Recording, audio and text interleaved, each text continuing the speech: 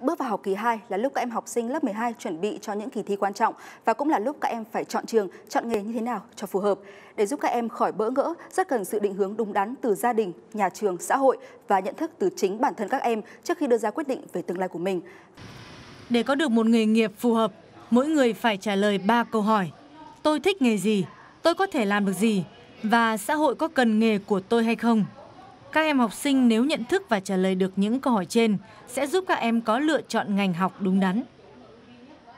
Khi mà mình phải định hướng cái nghề mình muốn vì ngoài cái ờ, cái sở thích của mình thì mình phải biết là mình có phù hợp hay không thì mình mới làm được cái nghề đó mà đúng đắn nhất.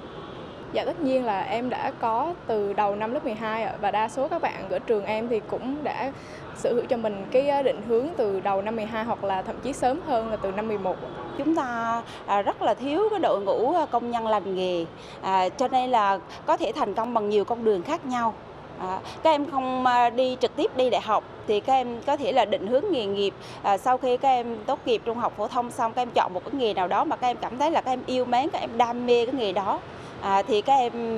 tham gia vào cái học nghề rồi sau đó các em có thể học tiếp. Nếu như mà bản thân thích bởi vì bây giờ là học thường xuyên học suốt đời mà không giới hạn ở một cái độ tuổi nào cả. Thực tế hiện nay vẫn có nhiều học sinh nhắm mắt chọn trường không phù hợp với bản thân để khi vừa mới bước qua cánh cổng đại học đã chán nản, muốn bỏ học. Và cũng không ít sinh viên ra trường thất nghiệp, thậm chí nhiều sinh viên giấu bằng đại học để làm những công việc tay chân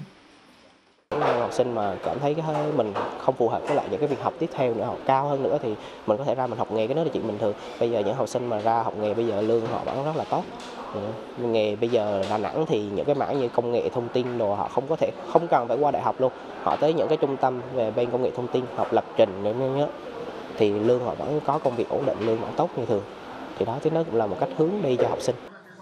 Các trường đại học Trường Trung học phổ thông hiện nay thường xuyên có những chương trình tư vấn tuyển sinh nhằm định hướng thêm cho học sinh, giúp các em có cái nhìn rõ ràng hơn về ngành học cũng như nghề nghiệp phù hợp với bản thân.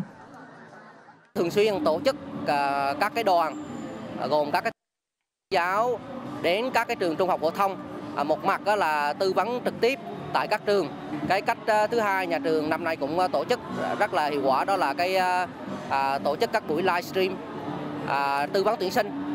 và dành cho cả toàn trường rồi các khoa bộ môn cũng tích cực tổ chức các buổi livestream để mà à, tăng cái à, truyền tải thông tin về công tác tuyển sinh của nhà trường đến à, các em học sinh sinh viên. Theo xu thế phát triển của thời đại, sự bùng nổ của cuộc cách mạng công nghệ 4.0 sẽ ngày càng có nhiều cơ hội mở ra cho những thế hệ trẻ học đại học, cao đẳng hay chủ động theo học các chương trình đào tạo nghề chất lượng cao đều là những hướng đi đúng đắn nếu nó là đam mê và định hướng của chính bản thân các em học sinh.